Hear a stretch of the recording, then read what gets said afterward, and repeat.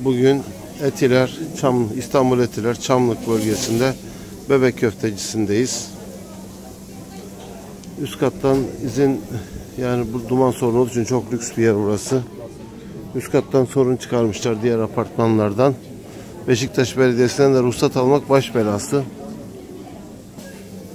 İşletmenin karşısında Voi Central Cafe var. Ufak bir işletme. Ama ruhsat için elektrostatik filtre. Elektrostatik filtremiz de mini minnacık burada. Ama dumanı tutmak için etkili. Filtremiz burada aşağı yukarı 2 yıldır çalışıyor.